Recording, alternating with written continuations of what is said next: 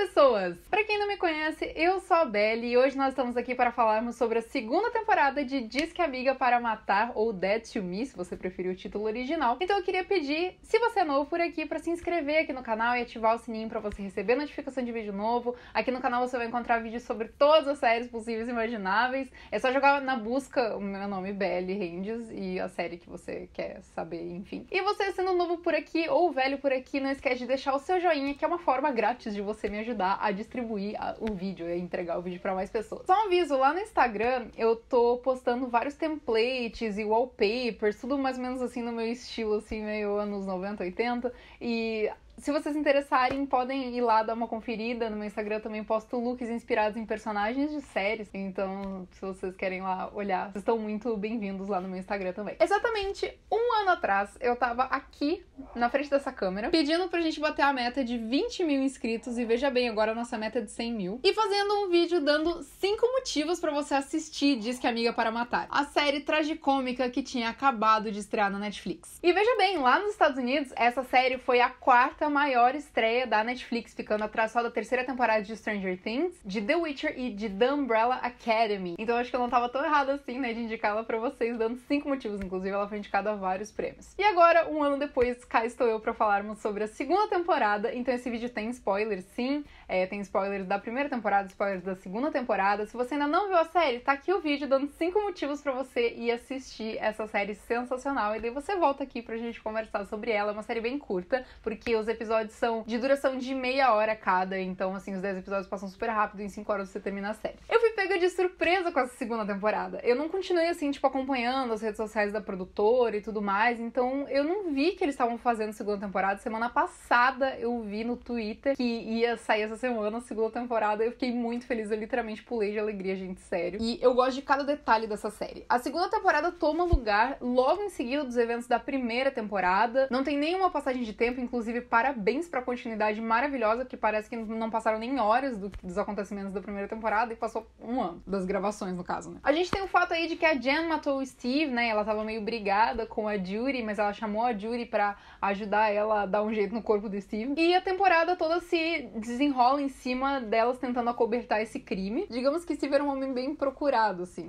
inclusive pelas autoridades. Até porque no final da primeira temporada a Judy é, falou, né, que ele fazia lavagem de dinheiro e tudo mais. E tava envolvido com a máfia grega. E também gira em torno da mentira da Jen, né, que ela fingiu que foi autodefesa. E também do irmão gêmeo do Steve. Inclusive, eu achei isso genial, porque o James Marsden é um ator muito bom para perder ele logo depois da primeira temporada, sabe? E esse recurso que eles encontraram de trazer o gêmeo dele foi muito, muito bom. E, gente, ele é tão bom ator que logo que ele apareceu na série, na, nessa segunda temporada, eu fiquei me perguntando se era mesmo o James Marsden, porque as personalidades dos dois personagens são tão diferentes, ele faz tão bem os dois, que, juro, logo de cara eu fiquei, gente, é o James Marsden mesmo, sabe? Gente, genial. A Judy, pra mim, é uma personagem incrível, eu me identifico muito com ela. A Linda Cardellini tava sensacional nessa temporada, eu tô esperando os Emmys chegarem pra essa mulher. A Judy foi cheia de momentos ímpares ao longo da série. Eu me emocionei muito quando ela cantou pro Steve lá no enterro do passarinho, e ao mesmo tempo a série ia nos mostrando flashbacks de que ele não era um cara legal, mas mesmo assim ela queria lembrar das coisas boas, porque ela é uma alma muito boa. A relação dela com a mãe também foi algo extremamente triste, e a série traz com clareza essa questão de relacionamentos tóxicos, né? Até quando a Jen fala pra Judy que a Judy sempre tá em relacionamentos tóxicos porque ela se submete a qualquer coisa pelos outros. E eu entendo o comportamento da Judy. Eu tenho essa mania também de ficar vendo o lado bom nas pessoas, mesmo elas não tendo lados bons.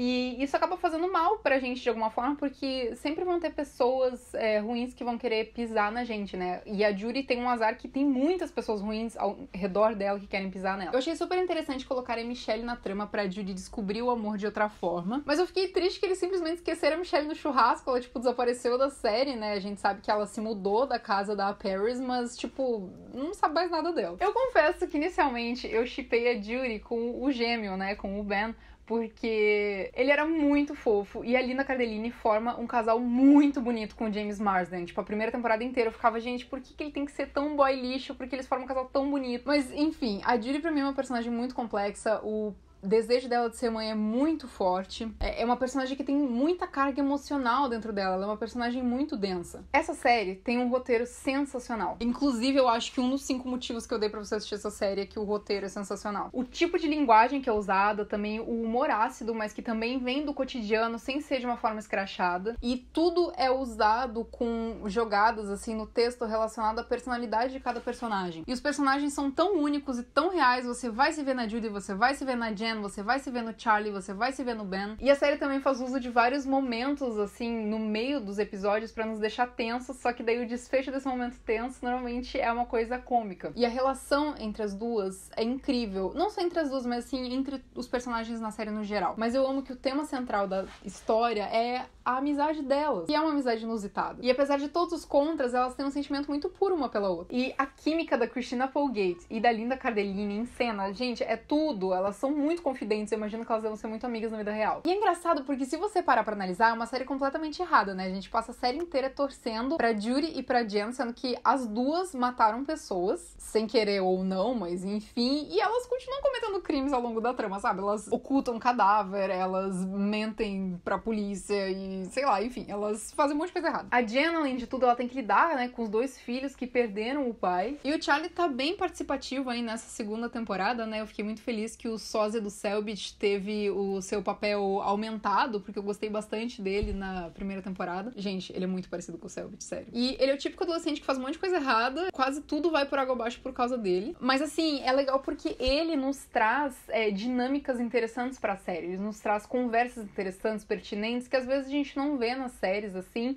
Muito legal o papo da Jen com ele sobre ser um boy lixo, sobre um comportamento errado, né? Porque muitos uh, garotos adolescentes, homens adultos também, têm uma percepção distorcida é, de um relacionamento. Às vezes na adolescência, às vezes na vida adulta também, mas enfim. E assim, tem outros momentos super geniais, assim, tipo o papo dele com a Judy no carro sobre primeira vez e sexo e tudo, super divertido. E o Henry, gente, eu acho que ele é um fan favorite, né? Eu queria que ele aparecesse mais, achei que ele apareceu até pouco na segunda temporada. E eu nem tinha me tocado que ele fazia a coisa, mas ele faz. Ele é o irmãozinho, né, que desaparece ali no começo do filme, mas enfim. Inclusive, eu fiquei muito surpresa de ver a Frances Conroy na, no elenco, né? Ela faz a mãe do Steve, do Ben, e todas as cenas dela são muito emotivas. Imagina, seu filho tá desaparecido e você não sabe o que pode ter acontecido. E a gente vê a Jen se colocando no lugar dela o tempo todo, então é isso que faz ela ter a virada aí da, da personagem na trama. E essa série é muito interessante porque ela é formada de vários círculos. Desde a primeira temporada, tudo acontece de forma cíclica, e isso é uma forma muito interessante de se levar o roteiro sem perder alguma coisa importante. Eu digo que é em círculos porque, por exemplo, a Judy matou o marido da Jen, a Jen matou o noivo da Judy. O irmão do noivo da Judy fica com a Jen. A delegada que investiga a Jen e a Judy é a ex da nova peguete da Judy. O ex-peguete da Judy ajuda a encontrar quem matou o marido da Jen. Vocês entenderam o que eu quis dizer? Tudo na série anda em círculos. Se você parar para analisar, a primeira temporada teve um final aberto, mas não teve pontas soltas. O final aberto foi que o Steve estava morto e elas tinham que dar um jeito nisso, só. Na segunda temporada a gente sabe, né, que encontraram os restos mortais do Steve, mas que isso foi atribuído à máfia grega e ao chefe da polícia, né, que estava envolvido ali no rolê, porque a polícia descobriu ali, né, com o telefone que a Judy entregou que todo o envolvimento e tudo mais e atribuíram a morte dele a isso. Basicamente a única coisa que fica em aberto no final da segunda temporada é o acidente onde o irmão de quem a Jen matou quase matou ela. Viu só outro círculo. Ou seja, se for ter mais uma temporada, eles vão puxar um fio disso, né? Da questão de que o Ben tava bebendo e tudo mais, teve esse acidente. E se não for ter, a série não tem outras pontas soltas que vão deixar a gente doido. Eu acho que a amizade delas é uma das minhas amizades favoritas das séries. Elas são muito verdadeiras na essência delas. E é engraçado porque você sempre vai ser a Judy de alguém ou a Jen de alguém, enfim. E a Liz Feldman, né, que é a produtora e roteirista, ela também é, escreveu e produziu Two Broke Girls, que também faz esse perfil aí de duas mulheres sendo melhores amigas e protagonistas. Elas têm personalidades bem diferentes, assim como a Jen e a Judy. Se você nunca assistiu essa série, eu recomendo. Ela é mais comédia do que Dead to Me, mas eu assisti na época que ela saiu na TV, assim, e, cara, eu adorava, me divertia muito. A Liz também escreveu mais de 100 episódios pro programa da Ellen DeGeneres, e eu queria muito ver mais produções dela pela Netflix, porque ela é muito criativa e ela é muito boa no que ela faz. Uma coisa também que eu amo nessa série é que ela é extremamente viva, ela é muito colorida e contrapõe completamente o assunto que tá sendo abordado ao longo dela, né, que são crimes. Aliás, o nome aqui no Brasil é Diz que Amiga para Matar, porque é uma referência a um filme do Hitchcock, né? Que é Diz que M para Matar. E, enfim, eles. Eu não sei bem porque eles não fizeram o título Morto para mim, que seria o, o mais fiel. Mas se você parar pra pensar nessa referência, é interessante, por mais que uh, as pessoas às vezes não peguem de cara. Eu, por exemplo, quando eu fiz o, o, vídeo de cinco motivos, eu não peguei de cara essa referência, mas depois eu lembrei desse filme e, e, enfim. Essa série, tudo pra mim, gente. Eu amo ela. Gente, meu sonho é, quando eu tiver 44 anos, eu ser maravilhosa que nem a Lina Cardellini. Gente, ela é perfeita. Eu amo ela. Sério, ela é incrível. Desde Freaks and Geeks, gente. Sem defeito. Aliás, vai ter vídeo de Freaks and Geeks no baú de séries, viu?